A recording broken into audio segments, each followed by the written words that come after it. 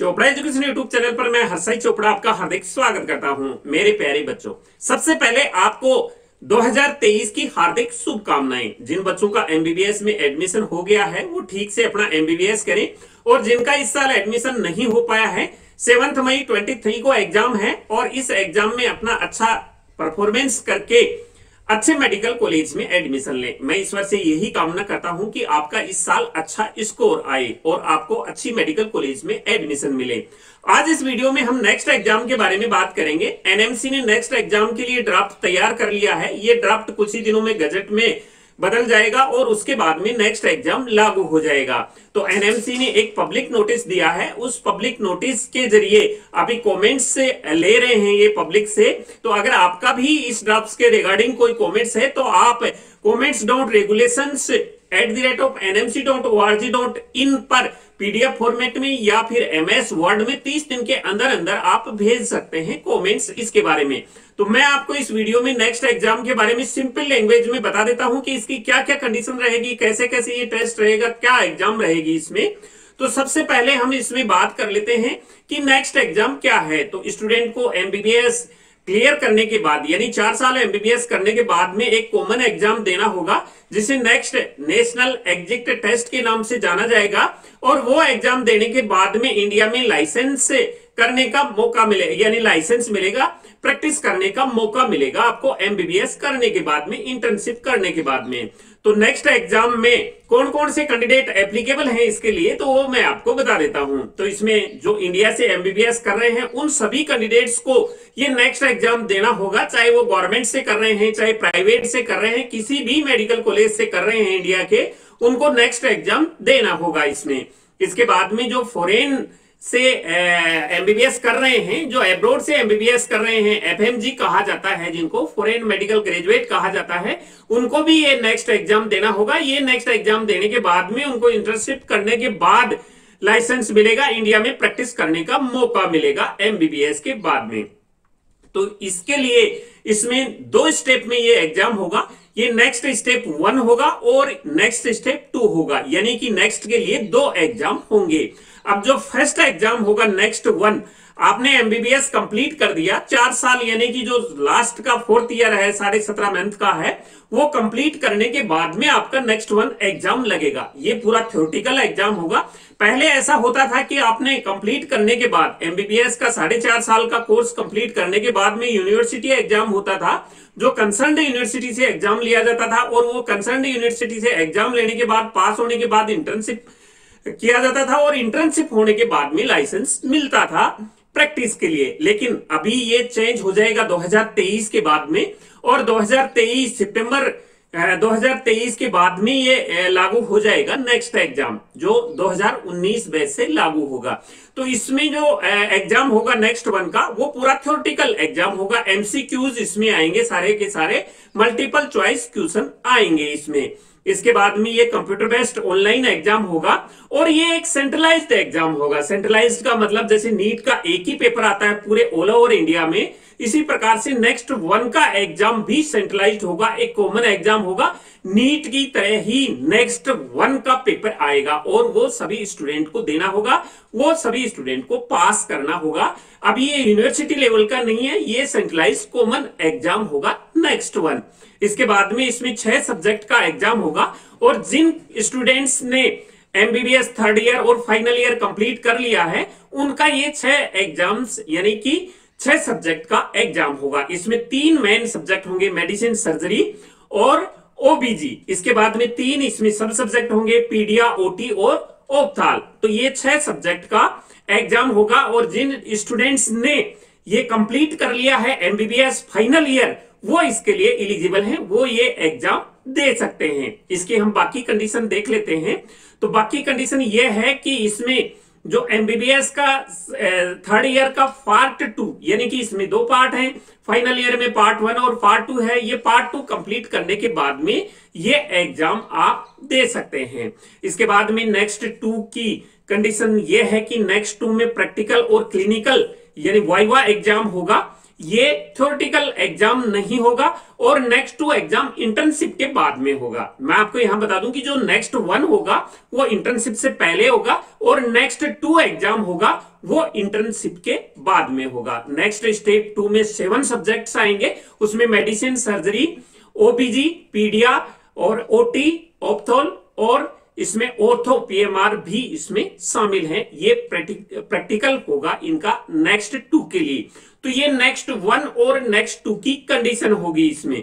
अब next two के score की बात करें हम। नेक्स्ट के स्कोर की बात करें तो जो नेक्स्ट वन का स्कोर होगा, यानी कि आपके एमबीबीएस कंप्लीट होने के बाद में नेक्स्ट वन होगा, उसका जो स्कोर होगा, उसी स्कोर के बेस पर आपको पीजी में एडमिशन मिलेगा और वही स्कोर पर आपको इंटर्नशिप करने का मौका मिलेगा। अगर आप उसमें पास होते हैं तो। इसमें पास के लिए आपको यहाँ पर 50 परसेंट मार्क्स लाने होंगे। यानी कि जो भी एग्ज़ाम होगा छह पेपर का, उसके अंदर 50 परसेंट आपको पास के लिए मार्क्स ज़रूरी हैं। और इसके बाद में आपको 50 परसेंट के बाद जो स्कोर होगा आपका, जो पीजी के लिए स्कोर माना जाएगा, उसमें मेरिट के अकॉर्डिंग आपका सिलेक्शन होगा पीजी में। तो ये कंडीशन हो गई नेक्स्ट वन की स्कोर के लिए। जो नेक्स्ट टू का एग्ज़ाम होगा वो नेक्स्ट टू का एग्ज़ाम यानी नेक्स्ट स्टेप टू होगा, वो सिर्फ़ पासिंग के लिए ही होगा। और वो जो टेस्ट लिया जाएगा, वो यूनिवर्सिटी द्वारा ही लिया जाएगा। यानी कि कंसर्न यूनिवर्सिटी द्वारा नेक्स्ट टू का एग्ज़ाम लिया जाएगा, लेकिन नेक्स्ट वन जो एग्ज़ाम होगा, वो कॉमन एग्ज़ाम होगा इसमें। इसके लिए इलिजिबिलिटी के लिए मैंने आपको बता दिया है कि इसमें नेक्स्ट वन होगा, वो पीजी के लिए होगा और जो नेक्स्ट टू होगा, वो इंटर्नशिप करने के बाद में इसमें सिर्फ़ आपको पास करना है, उसके बाद में आपको लाइसेंस मिल जाएगा। इसके बाद में इस स्कोर को कहाँ कहाँ यूटिलाइज कर सकते हैं? तो इसको लिए central government state government utilise कर सकते हैं प्राइवेट बॉडीज हैं, वो भी प्राइवेट इंस्टीट्यूशन है, वो भी इस स्कोर को यूटिलाइज कर सकते हैं। किसके लिए कर सकते हैं? इंप्लॉयमेंट के लिए, यानी कि सर्विस के लिए रिक्रूटमेंट के लिए कर सकते हैं स्कॉलरशिप के लिए कर सकते हैं फेलोशिप के लिए कर सकते हैं। तो ये इसके लिए इस स्कोर को यूटिलाइज कर सकते हैं इसमें। अब फ़र्स्ट वन जो नेक्स्ट वन है, इसके बारे में इंफॉर्मेशन इसमें दी गई है, वो आप यहाँ देख रहे हैं। इसमें कौन कौन से सब्जेक्ट का क्या क्या यानी कि 65 percent problem solving analytic skill type के क्वेश्चन रहेंगे इसमें, और इसमें ये 10 परसेंट रिकॉल टाइप के क्वेश्चन रहेंगे तो इस प्रकार से इसके क्वेश्चन रहेंगे नेक्स्ट वन में।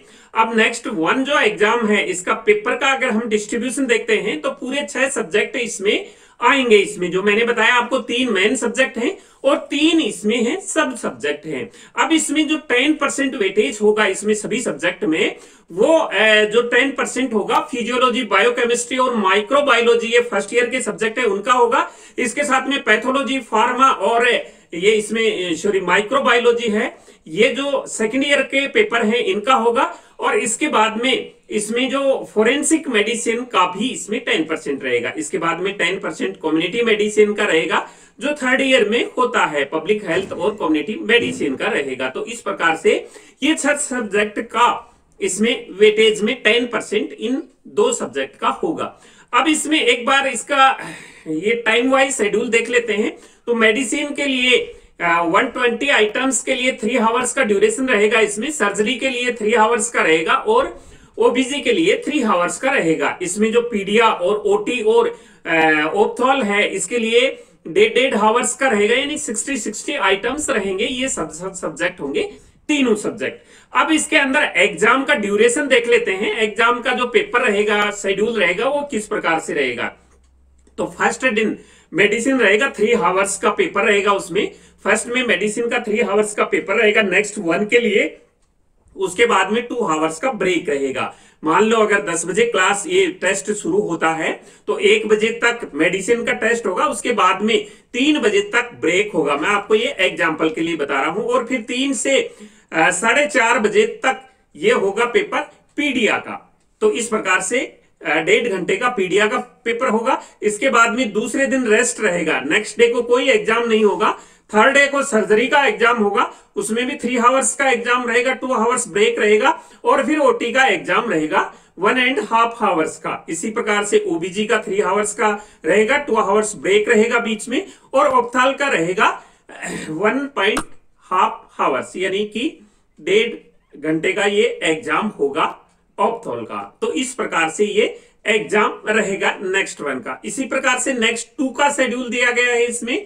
इसमें भी सेवन सब्जेक्ट आएँगे और सेवन सब्जेक्ट में इसमें जो पीएमआर का सब्जेक्ट है, वो एक और ऐड कर दिया है। लेकिन जो नेक्स्ट टू रहेगा, वो सिर्फ़ पास और फेल के लिए रहेगा और ये जो एग्ज़ाम रहेगा, वो एग्ज़ाम क्लिनिकल और प्रैक्टिकल बेस पर रहेगा, यानी वाइवा रहेगा प्रैक्टिकल रहेगा इसमें। एक बार इसका हम टाइम शेड्यूल देख लेते हैं। तो टाइम शेड्यूल किस प्रकार से ये कंडक्ट होगा? तो देखो नेक्स्ट वन वो कंडक्ट होगा सेकेंड वीक दिसंबर में। और इसमें, इसके बाद में उसका रिज़ल्ट सेकेंड वीक जनवरी में आ जाएगा। नेक्स्ट टू का अभी सप्लीमेंट्री एग्ज़ाम होगा। अब मैं आपको यहाँ पर एक चीज़ और बता देता हूँ कि ये जो नेक्स्ट वन है, ये साल में एक ही बार कंडक्ट होगा। नेक्स्ट टू भी साल में एक ही बार कंडक्ट होगा। अगर जो स्टूडेंट नेक्स्ट वन में पास नहीं होता है तो वो सप्लीमेंट्री एग्ज़ाम देख के पास हो सकता है। इसी प्रकार से नेक्स्ट टू भी एक ही बार होगा और उसमें भी अगर कोई स्टूडेंट पास नहीं होता है तो वो सप्लीमेंट्री एग्ज़ाम देके पास हो सकता है। जो नेक्स्ट वन एग्ज़ाम है, सिर्फ़ स्कोर के लिए होता है, वो भी अनलिमिटेड है। आप कितनी भी बार दे सकते हैं स्कोर को इंप्रूवमेंट करने के लिए दे सकते हैं। जैसे मान लो किसी स्टूडेंट का पीजी नहीं होता है तो वो अपना स्कोर कितनी भी बार इंप्रूवमेंट कर सकता है, उसके लिए कोई लिमिट नहीं है। लेकिन जो नेक्स्ट टू का एग्ज़ाम है, वह भी अनलिमिटेड है। उसमें भी आप कितनी बार एग्ज़ाम दे सकते हैं, जो इंटर्नशिप के बाद में लागू होता है। इंटर्नशिप के बाद में होता है। तो ये जो सप्लीमेंट्री का एग्ज़ाम है, इसका अभी डेट नोटिफाई नहीं किया है कि ये कब होगा। इसके बाद में जो थर्ड एमबीबीएस और फाइनल एमबीबीएस के बाद में प्रैक्टिकल और क्लिनिकल यूनिवर्सिटी एग्ज़ाम होगा, वो फ़र्स्ट वीक जनवरी में होगा। यानी पहले नेक्स्ट वन होगा। उसके बाद में आपके जो यूनिवर्सिटी के प्रैक्टिकल और क्लिनिकल एग्ज़ाम होंगे वो जनवरी फ़र्स्ट वीक में होंगे और फोर्थ वीक जनवरी में उनका रिज़ल्ट आ जाएगा। अब ये दोनों एग्ज़ाम होने के बाद, पहले नेक्स्ट वन होगा और फिर थर्ड ईयर का जो फाइनल ईयर का प्रैक्टिकल और क्लिनिकल यूनिवर्सिटी एग्ज़ाम है, वो होने के बाद इंटर्नशिप होगा। इनमें जो स्टूडेंट पास होगा और इंटर्नशिप फ़र्स्ट फरवरी से स्टार्ट हो जाएगा और नेक्स्ट ईयर की ट्वेंटी फरवरी तक वो रहेगा इंटर्नशिप। इसके बाद में नेक्स्ट टू होगा फिर, वो सेकेंड वीक मार्च में होगा और फ़र्स्ट वीक अप्रैल में उसका रिज़ल्ट आ जाएगा। इसके बाद उसका सप्लीमेंट्री एग्ज़ाम होगा, उसका डेट भी अभी नोटिफाई नहीं किया है। और इसके बाद में पोस्ट ग्रेजुएट के लिए एडमिशन यानी पीजी के लिए जो एडमिशन होंगे, वो नेक्स्ट वन के स्कोर पर होंगे, वो मई, जून में होंगे और थर्टी जून तक ये कंप्लीट हो जाएँगे। और फ़र्स्ट जुलाई से जो पीजी की क्लासें हैं, वो स्टार्ट हो जाएँगी। तो ये कंडीशन रही नेक्स्ट टेस्ट की नेक्स्ट एग्ज़ाम की।